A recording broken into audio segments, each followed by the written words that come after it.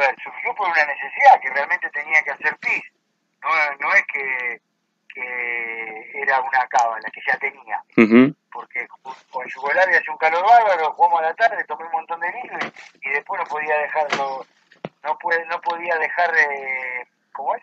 El, el campo de juego. Entonces tenía que hacer ahí adentro de la cancha.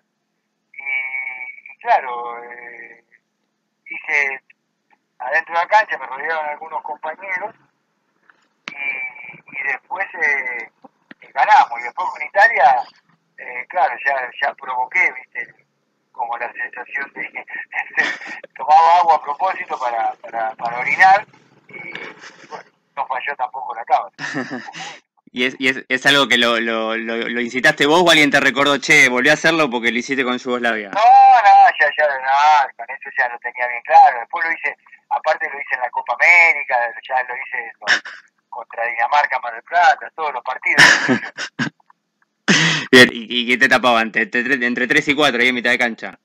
Claro, viste, te hacías la, la, ventaja de la bermuda, que la puedes recoger así como que longas y no queda algo tan grosero.